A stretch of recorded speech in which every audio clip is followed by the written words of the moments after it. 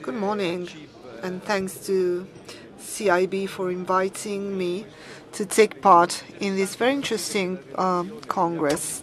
I have to say that the previous speaker um, uh, has already said many of the things that I was thinking of saying myself, but I will not, therefore. So I agree with what the previous speaker said. Anyway, I will try to, you know, outline some trends which the energy system is going to follow. I'm not going to set some deadlines, but in the future, uh, the future is going, well, it lies ahead, so I cannot really talk about that line. So this is um, a picture showing uh, our partners.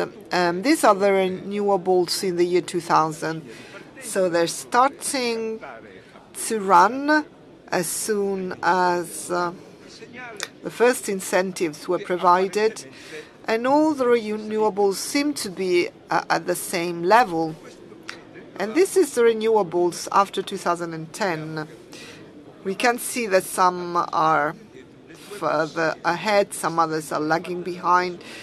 There are two lanes that are empty uh, because uh, the two runners were really at the back. So not all renewables are the same, and some have got greater prospects.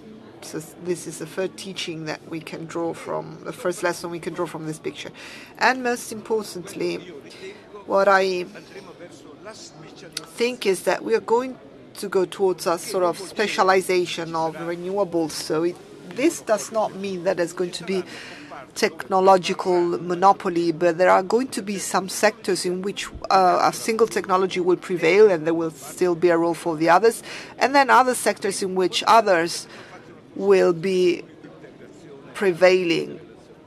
Uh, this is World Energy Outlook of 2018 saying that electricity represents 19% of final energy, consumption, but because it has a higher conversion rate, with 19%, it meets 27% of useful energy demands. So we know that electric engines are much more effective than others. So this is an average. And this is what I want to start from. Uh, and I decided to think of this experiment. I thought that in 2017 there would be five full electric cars. What would the results be in this scenario? Well, the overall um, electric power demand would entail a 4.6% increase in overall demand, but it would cut 15% of the demand for gas and diesel fuel. I'm saying this in order to highlight something. I'm not saying that everywhere there's going, there are going to be electric engines, but this is just to show you the force of electric engines. And that is why the World Energy Outlook uh, is has devoted a special focus on electric engines. So this is a fact we have to consider. So this is what would have happened in the face of, these figures. So a lot more and a lot less.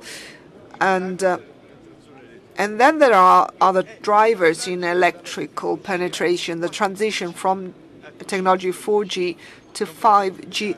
I'm not going to explain this because it would take me four hours to do that. But to the left, we've got one millisecond to transmit any information read by any sensor, IoT, etc. Uh, 100 billion of mm, bits of information transmitted. But these are not the two most important things which are already leap forward, but it's the third and the fifth.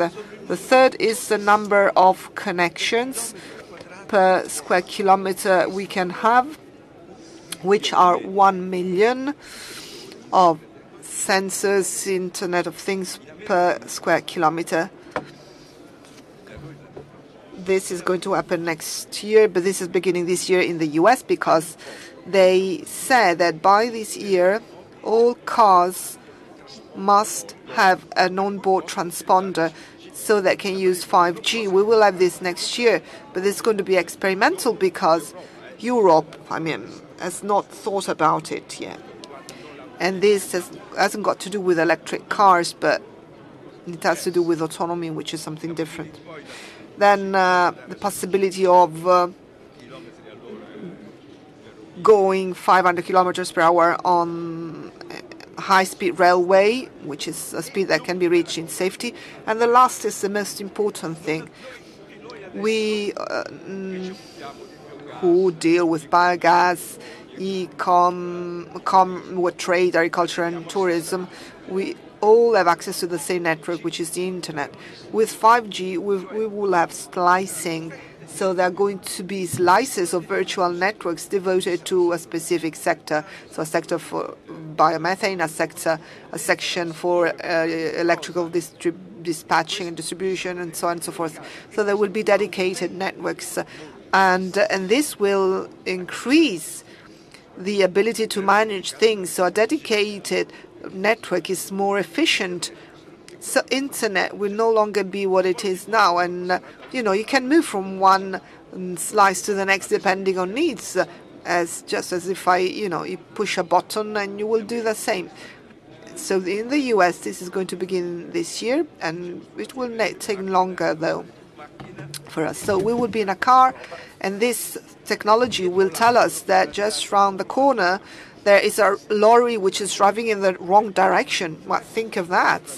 This is not mm, something small. It's really, you know, a momentous revolution. So this um, will lead electrical demand to be met with uh, increasingly with renewable energy sources, but this will not take place. Um, it will not be used everywhere, but it will, you know, meet uh, heat demand in buildings. It will be dominating in industrial production, and already Industry 4.0 is based on this, essentially. And uh, there will also be an increase in light mobility because the presence of 5G and uh, autonomous um, driving, uh, there will be synergies. So an electric car with autonomous driving does not uh, waste any time. So this will necessarily, in the case of light vehicles, to move to um, electricity. So I'm not saying that um, all other technologies will be excluded, but in the case of light vehicles, this is the direction developments are going to take. So these are the figures of the national uh, plan for electricity. Uh, there will be an increase in wind power and solar power. So, what is going to be the role for biomethane? Well, considering that biomethane is going to be in many different sectors, but I, am just going to speak about the specific role for biomethane. This is what I see for the future. There will be a full coverage of LNG in the field of heavy transportation and sea transportation. Uh, full uh, energy coverage for farms producing BDR, contribution to the electric grid and uh,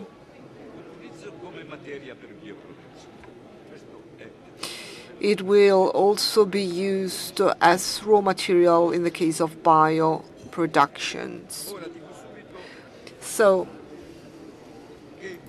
allow me to say that instruments to develop biomethane represent a strategic plan. Can I ask you a question though?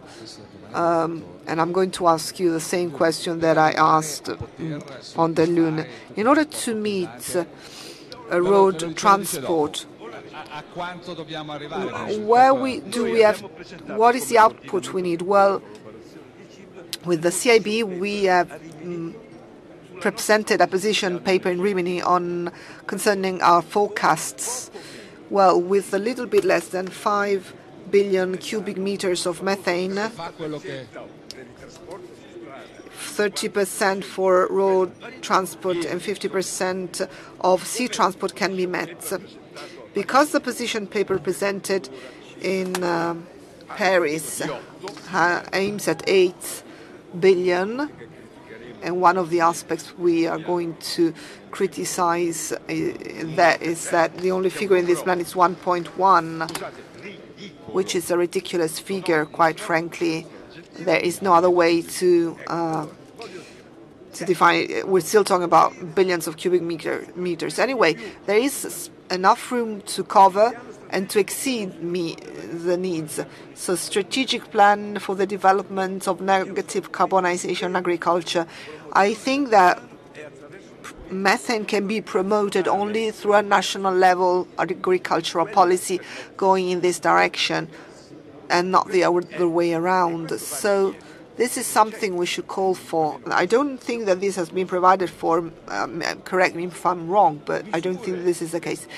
So measures in the plan for energy and climate for the transformation of biogas and methane, processing of biogas and methane. Look at the chapter on carbonization. You will read that agriculture is a great producer of CO2. So biogas done right is not even mentioned. Um, obviously, uh, we're going to write down something about it. It's ridiculous what they are saying. Whatever is being said uh, at world level is totally uh, ignored. They just say that it produces farming CO2 an objective in the energy and climate plan for the greening of natural gas. So let us go beyond 2013. I'm getting to my conclusions. There will be a growing carbon pricing over time, and we will move to 5G plus and even to 6G probably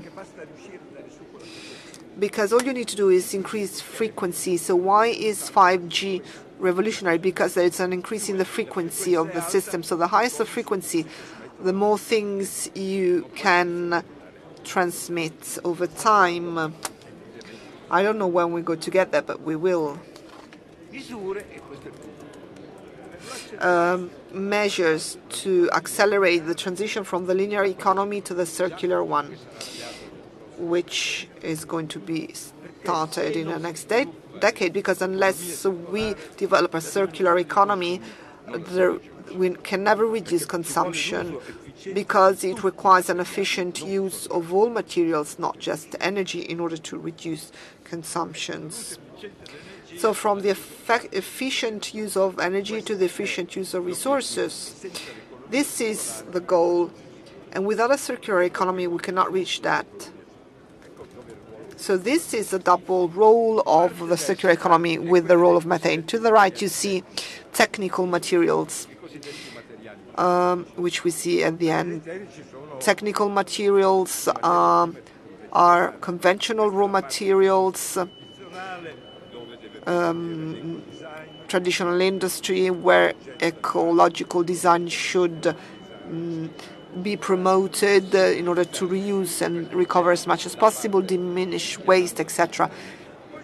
Um, and then to the left, you see biological products and materials. And um, this part to the left, which is static, is something that is going to grow because in bioproducts, there are also going to be composite byproducts which will occupy um, a section of what we call technical materials. So the first wind blades uh, were made of metal. Now we've got composite materials. So we, then we're going to get to biocomposite materials. So this chunk is going to be increased. And wh what is going to fill it? Well, this is the role of biomethane after 2020. Increasingly, it will be used as raw material to produce biomaterials. Um, and this is something we should consider. Among the various roles of biomethane, it is the only material that keeps the content of information of biomasses. So these molecules are complex ones. So, and when I turn them into biogas, from the standpoint in term, from the standpoint of content, information content, I diminish it. And even biomethane is a step forward but limited. If I use biomethane to recreate a complex molecule, I fully recover the content information of a molecule. And this also turns into energy and economic advantages. So we're not just talking about something philosophical. So long-term trends, well, they are a high reduction in consumption thanks to the circular economy and energy efficiency, reduction of waste, decarbonization process, accelerated by the dissemination, well, the, the development of farming produ farms producing BDR, uh, electrification of the entire energy system uh, in the at the highest level with a decrease in pollution because combustion, even though it does not uh, produce particles, it still produces pollution overall, and uh, a growing part of industrial production coming from biorefineries, um, which will be using almost all of the biomethane produced. So the future of biomethane is precisely this. Thank you for your attention.